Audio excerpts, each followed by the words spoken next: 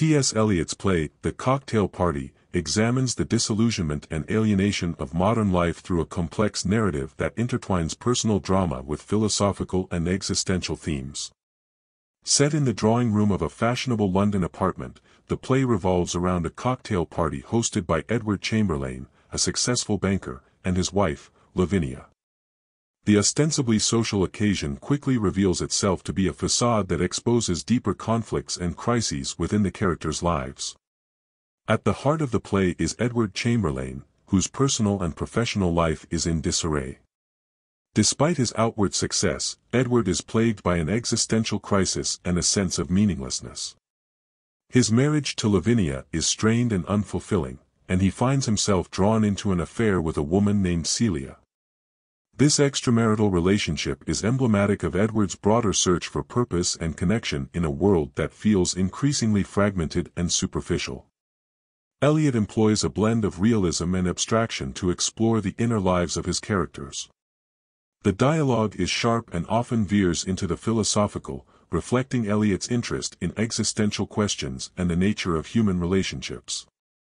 Through conversations and interactions, the play unveils the characters' internal conflicts and their struggles with personal identity and societal expectations.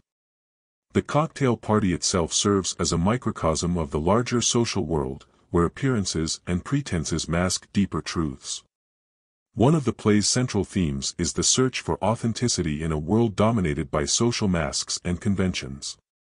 Edward's affair with Celia, for instance, initially seems to offer a sense of genuine connection but ultimately leads him to confront the emptiness of his pursuits.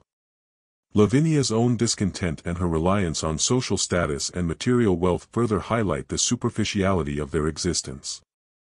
Eliot's depiction of these characters' lives challenges the reader to question the value of societal norms and the authenticity of personal relationships. Eliot also delves into the theme of spiritual emptiness and redemption. The arrival of a mysterious character, the psychiatrist, introduces a new dimension to the narrative.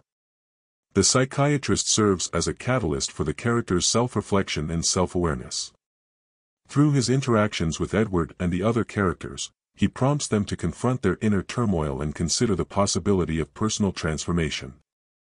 This element of the play underscores Eliot's exploration of spiritual and psychological themes, emphasizing the need for self-discovery and genuine understanding in the face of existential crises.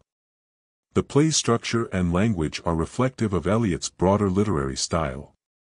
The use of dialogue and monologue reveals the inner thoughts and emotions of the characters, while the shifting perspectives and fragmented narrative mirror the disjointed nature of modern life.